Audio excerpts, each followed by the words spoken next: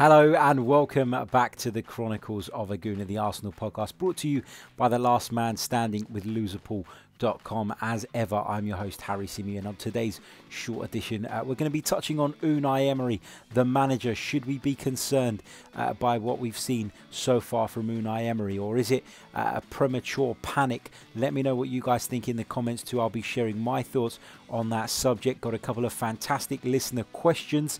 And we'll also be touching on the FIFA ratings. I know a lot of you are FIFA heads, love the game, play it a lot, and uh, we'll be looking into some of the rankings that the Arsenal players uh, have been given. And let me know whether you agree or disagree with those. Now, I'm going to start off uh, by talking about Unai Emery. Now, I've been on various podcasts.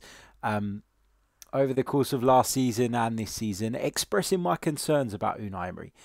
The same concerns that people are now all of a sudden waking up to. And I'm not sort of trying to say I told you so, but what I'm saying is when I initially said it, people were having a go at me, digging me out, calling me every name under the sun because I dared to question the mighty Unai Emery.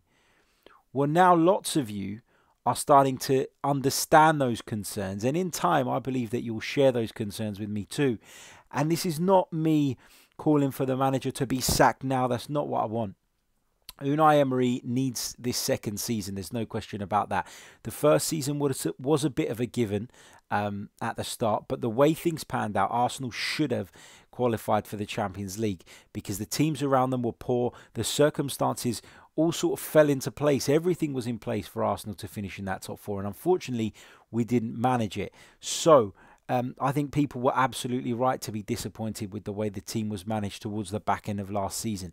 I think that people are absolutely right to question whether or not Unai Emery is the long term solution. That doesn't mean that just because you question someone that you want them sacked. Now, we were all complaining before about how no manager at Arsenal, or no manager, I mean Arsene Wenger, had no accountability. Nobody ever put the heat on him, um, you know, within the club. It was only the fans that essentially turned on him and people, uh, you know, were getting upset as to why he was allowed to get away with certain things. Well, this is the same situation. For me, Arsenal's progress under Unai Emery has been very limited, and the statistics and the facts and the stats uh, and everything else prove that. Now, you can argue that Arsenal have progressed a little bit, and uh, and if you did make that argument, I'd agree with you. But overall, in terms of the way Arsenal have progressed, it's not been as much as people would have expected. And, you know, we have brought in a, a lot of players. And I think over the course of this season, I'm going to stick my neck out on the line and say that the same issues that plagued us last year, i.e., the defence, will prove to be a problem again because it's not been addressed. It's not been addressed in the way it should have been addressed. And lots of people will sit there and say, oh, you know, but Holding's on his way back, a player who has shown some some potential but ultimately has only played half a season in, in the Arsenal first team. They'll talk about Hector Bellerin, another player with bags of potential, really exciting going forward. But is he going to come in and solidify that defence? Not in my opinion. Kieran Tierney, brilliant reviews. A player who, you know, really impressed up in Scotland. He's been compared to Robertson of Liverpool a lot. Lots of Scottish fans saying that he's better than Robertson. So, you know, of course we're going to be excited. And that's, you know, completely understandable. But again, we, we don't know how he's going to fit into that team. We know that Arsenal have had defensive issues for quite some time. I'd have hoped that last season Unai Emery would have been able to address that. He didn't address it. Um, he's made a few signings this summer, and fingers crossed it, it will improve. But right now, I haven't seen any signs of that improvement. So you'll have to forgive me for being skeptical on that. And, and I'm going to stick my neck out on the line here and say that come the end of the season, Arsenal's defensive um, you know, record in terms of the amount of goals conceded will not be um, much, if better at all, to that of last season. So that's where my concerns come regarding the manager. It's not that I don't like him. It's not that I want him to go. It's not that I don't think he deserves this season. But for me, if you're sitting there blindly supporting him and saying, "Oh, actually, you know, he, he's got another free ride," then for me, you know, you haven't got the club's best interests at heart. This club need to get back in the Champions League. This club need to be competing at the very top level again. And, you know, the longer we stay in the Europa League, the the, the bigger the gap's going to get between us and the Man Cities and the Liverpools of this world. And, you know, your ambitions might be to get back in the top four, and that's my initial ambition. But of course, the long term goal is to, to be competing for the biggest titles where Arsenal should be. And do I, at this moment in time, believe that Unai Emery is 100% without doubt the man to deliver that? I, I don't. I don't believe that at this moment in time. And I, I'm happy to be proven wrong. I want to be proven wrong. I want Arsenal to get back to where they belong. But based on what we've seen so far, I'd be lying if I said that I'm totally convinced. And that's just my take on it. Now, I've got a couple of questions uh, from some of you guys uh, that have been coming through throughout the day. We put a little tweet out earlier on. Um, so I'm going to just refer uh, to one of those questions. It was a really, really good question, um, I thought, and um, one that is definitely worth discussing. Uh, let me just bring that up. It is from uh, the brilliant Claude uh, from Arsenal Fan TV. Let's have a quick look at what Claude had to say.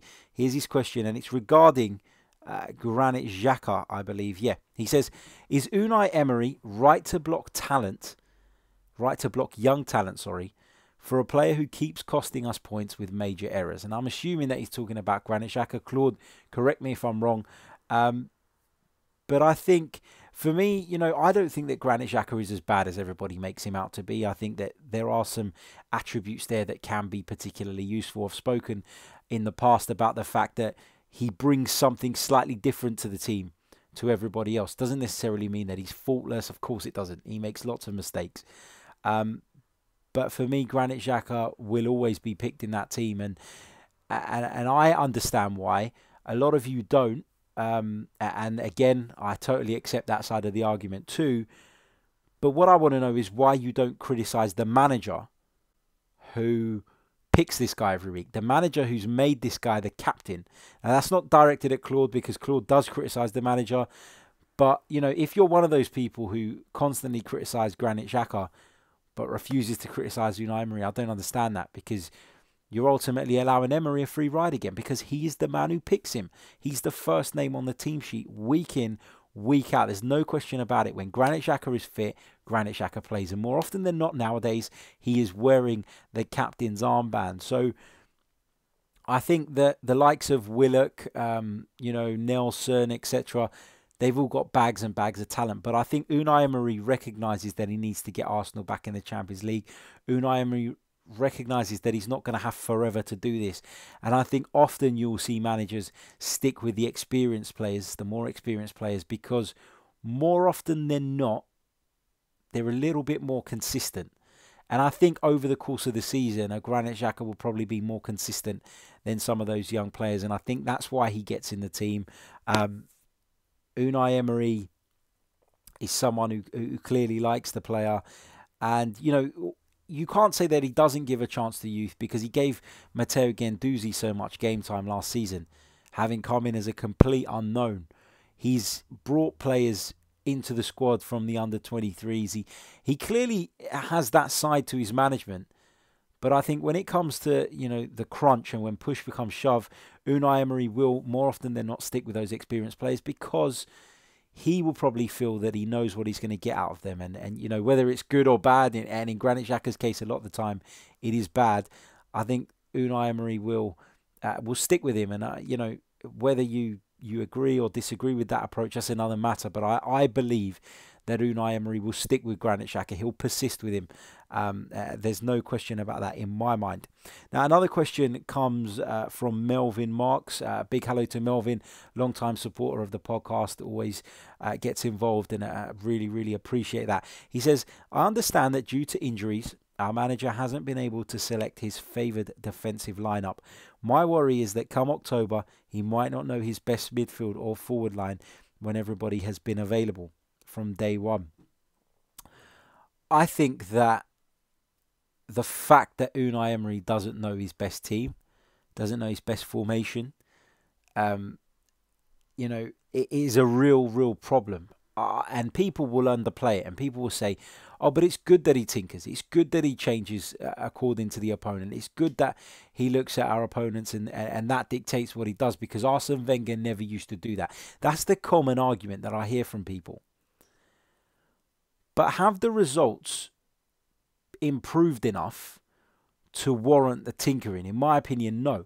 And that's what you've got to look at. That what tinkering does is it does, you know, allow you to set up better maybe for certain games and to set up in a more effective way against certain opponents.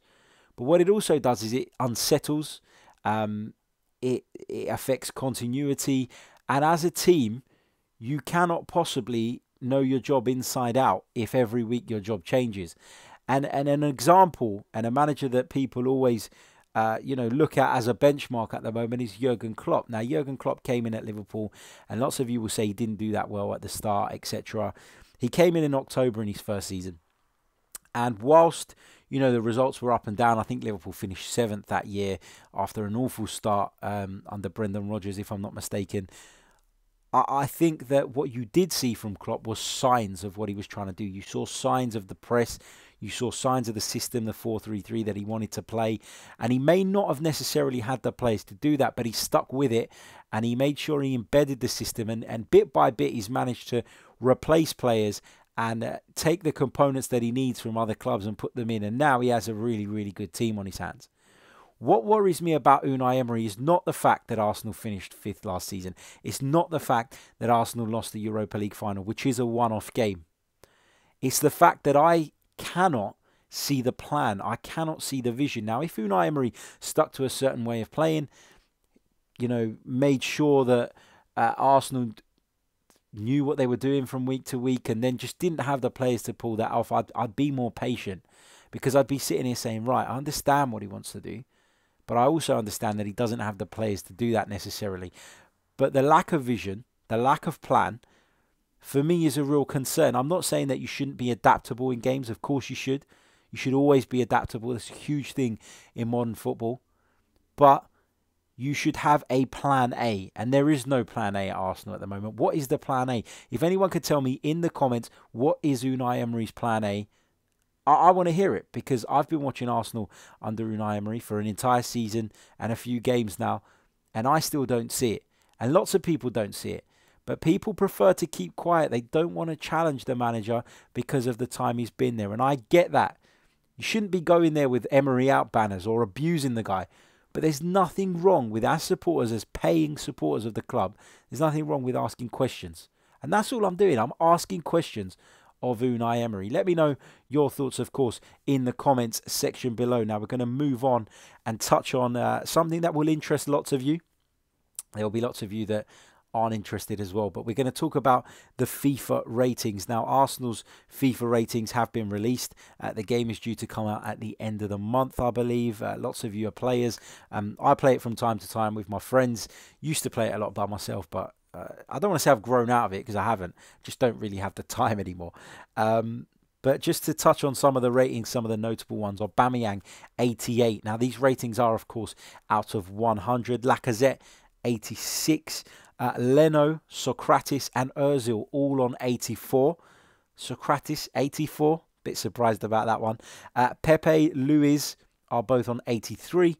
Torreira is on 82. And interestingly, Sead Kolasinac is at 79. That is three better than Kieran Tierney, who's at 76. And I know these ratings update, don't they? Because if you have your game connected to the internet, uh, you get form updates and things like that throughout the season, which is great. Um, but yeah, just just interesting reading. Let me know what you think about those in the comments section too. Don't forget to hit like, hit subscribe, hit share, leave us a comment. I want to know your thoughts on the things I've mentioned. And if you want to get your hands on one of these bad boys, it's a Chronicles AFC t shirt. You can do so. All you need to do is DM us on Twitter at Chronicles underscore AFC. Their 10.99 postage is free, and we can get those to you in support of the podcast. Um, also, uh, what was the other thing I was going to say? Completely gone blank. Uh, also, the fans phone in is back on Tuesday. We'll be looking back at the Watford game, of course.